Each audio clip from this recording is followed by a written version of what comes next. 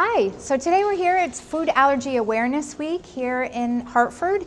We are at the state capitol, we're in the concourse here. We have a ton of literature and information that we're giving out to our legislators and to make people aware of the epidemic of food allergies.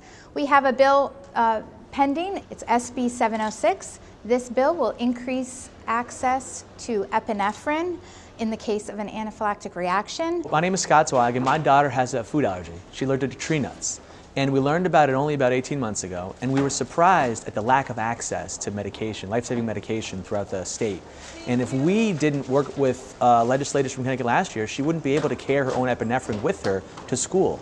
And so what this bill seeks to do is expand the access to people who maybe don't know they have food allergies, or to allow people uh, the freedom to travel places they couldn't before with uh, an expectation or an awareness that there would be life-saving medication somewhere in the facility, summer camp, day's care, etc. And we think it's a great bill and it will save lives of children, and we encourage everyone to support their legislators, senators, and representatives alike to support Senate Bill 706. Hi, my name is Tricia Donovan. I have three children too with multiple life-threatening food allergies to dairy, egg, peanuts, and tree nuts.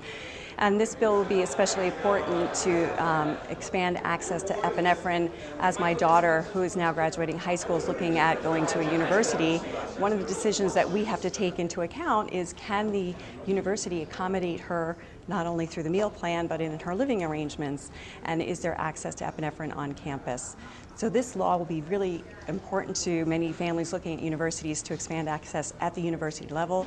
They can store them in the cafeteria and campus security could be trained, which would really make it easier for many families. My name is Gabrielle Solari. I have two sons. My older son has a host of life-threatening food allergies um, and increasing awareness, increasing accessibility to EpiPens could potentially save my son's life or another child out in the community.